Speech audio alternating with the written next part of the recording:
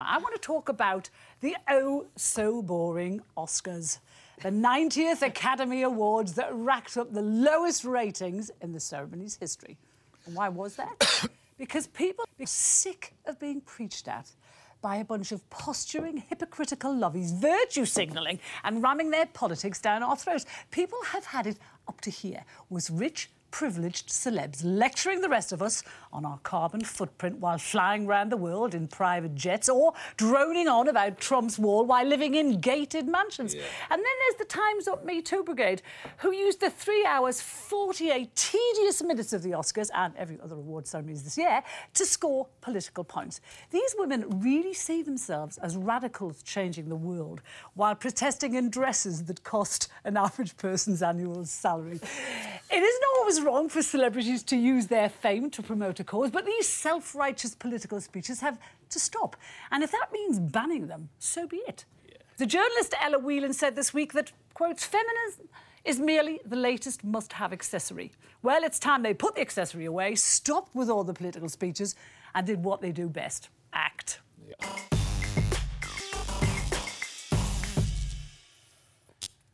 Carol, you've spent most of your life, as I understand it, as a journalist on popular newspapers. Yeah.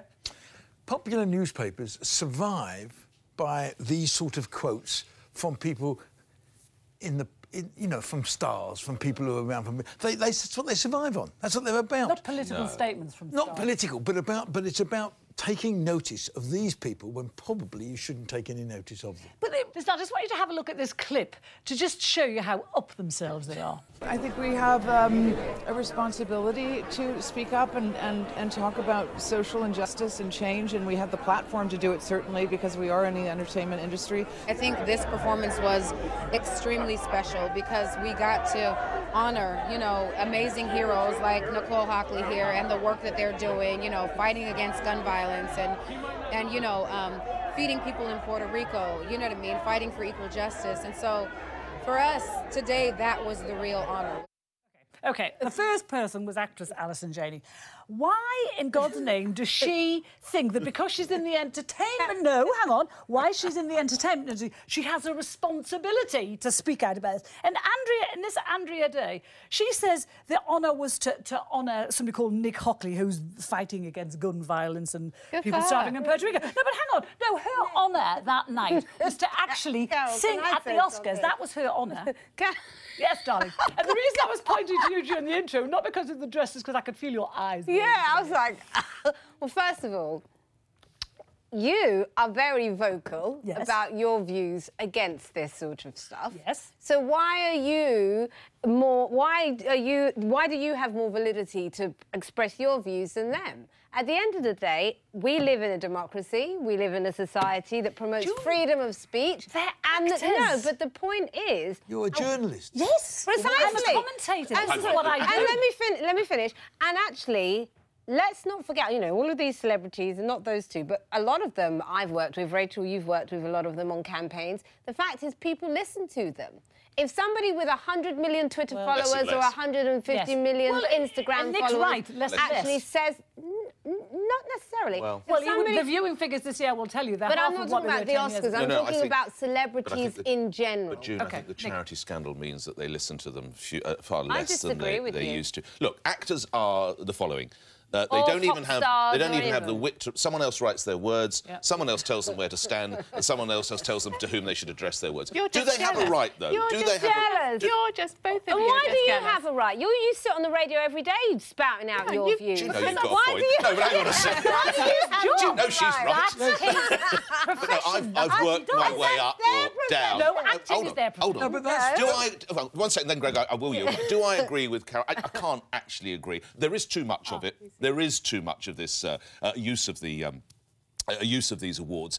But to sort of, and you and I don't like banning. I know that, and you don't like no. censoring. Should it be tapered? Should it be? Should it? They have a quiet word. Can we tone it down? Yes, but stop it altogether. But I'd be rather self-righteousness no, of them that gets me. I mean, I was listening to a bunch of them on stage the other day, and, and there was three of them on stage, and, I, and I'm not allowed to name who people were. But anyway, they said our voices have carved a new path. No, Oh, their voices have not carved a new path. I'll tell you who carved the new path, June, looking at me with daggers. Yeah. The, people, the 13 unknown actresses who had everything to lose, who spoke to the New I Yorker, agree. they carved the path, but not the, the, ones bigger jumping on the name bandwagon. actresses were able to amplify that message. No, they jumped more. on a bandwagon But because they saw- had they they, saw not, they it wouldn't have got it. the same attention. No way. Can I have my- Rachel.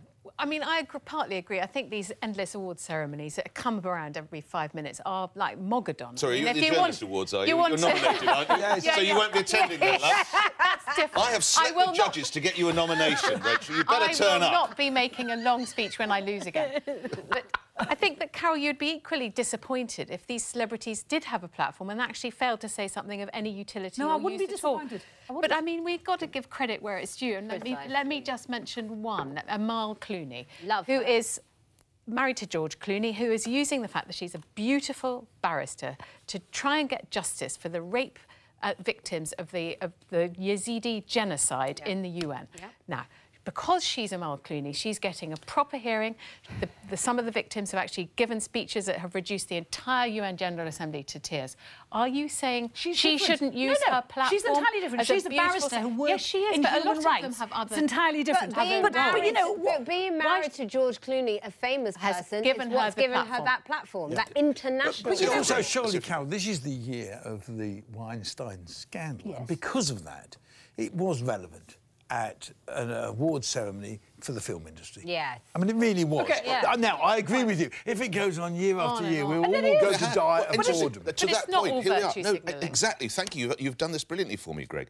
I take you back 40 years to the year uh, when Paddy Chayefsky, an American screenwriter, and you'll appreciate more of his work a little bit later in the show, I warn you now, Paddy Chayefsky, screenwriter, at the Oscars of 1978. I would like to say, personal opinion of course, that I'm sick and tired of people exploiting the occasion of the Academy Awards.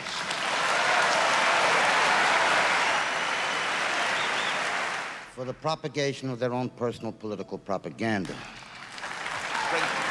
Greg, Greg, Greg, that was 1978. That's how long that's been going on. Well, it will come on. It will go on and on, won't they? And, Not if Carol has her way. No, no, Carol's right. At some stage, someone's going to say, look, we... Enough. It's too much of this. But the average never- speech used to be 30 words. It's now something like 180, unless you're Gary Oldman. He dribbled on But for three if people don't, if people don't watch it and won't be part of it, then they'll change it. But you mentioned Weinstein there. Isn't it funny that in the year that we, we know that Weinstein, the, the monster, has been exposed, the film, Piers Morgan said this, it made me laugh. The film that won the Best Picture was a film about a vile looking monster. and this, falling in love with a mute woman. I mean, films that no one wants to watch. This is one of those worthy. Anyway, that's, I that's, didn't, that's think, No, but I didn't think the monster was but- vile looking in the shape But of water. Carol, But but it will never be too much for, for all the women who have been harassed, for all the women who have been uh, abused. For them, they are very happy that somebody But is I actually think they- fighting their cause. So it's never going to be enough. We're never going to say But I think they've reduced this until it politics. I think they've reduced politics to crying about all those poor women out there. This is this is a bunch of the richest, mm. most privileged women in the world. politics They it. think they think inequality is getting paid $15 million a movie when their male co-star gets $20 million. They don't know what inequality means. And that's, that's the sort of stuff they stand there, you know, Oh, full I of self they do, Carol. The women who had to sleep with casting directors Oh, no, or no, there's another thing. allegedly, uh, you know, heads of studios in order to... Otherwise, they didn't get the gig. Here's an, here's an interesting point. There's a, and you might scoff at it. Harvey Weinstein's lawyer is a guy called Ben Brafman. Now, you know, Weinstein's a sleazeball, we know that, but he, he voiced what I think is quite an uncomfortable truth this week. And he said that, That was his truth.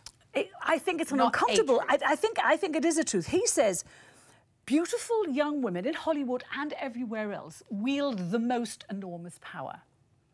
Uh, and he and he said that that women's campaign women's campaign groups don't acknowledge this. They only see victim and predator. And you know, and he he says, you know, if if a woman decides to sleep with a Hollywood producer to advance her career, what she has done is made a decision. Okay. Out of so- okay, to can do I just something make, can I make one point? And then In- I'd in- like to add to in- your point. Just to add that. to that, which is, um, Yeah. a woman obviously has agency and uh, can decide what she wants to do. But I think that we have to.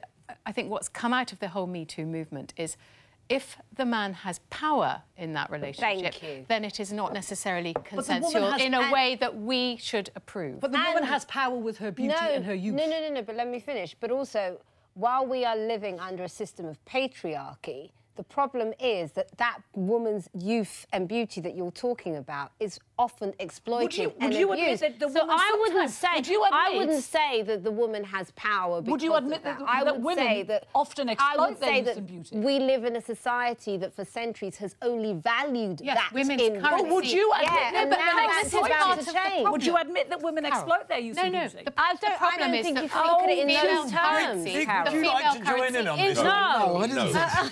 I didn't No. think- I thought you would not say a lot. I mean, you've just you just proved my point. The Yes. female You did, currency absolutely. for too point. long has been their youth, Precisely. beauty, attractiveness, Yeah. and I don't want to use a, an- a word on air, but Use you know, it. nubile. Yes. You know, they Yes. are of childbearing And age, many and you know women what I'm would saying. use that to their advantage. Don't deny that women Because what- flirt, Rachel, that women fluff men's No. egos, because they do it We're all not the time. denying that, but we're, We're saying you've denying got to look at why, and that's what needs to, To be get what they want. Anyway,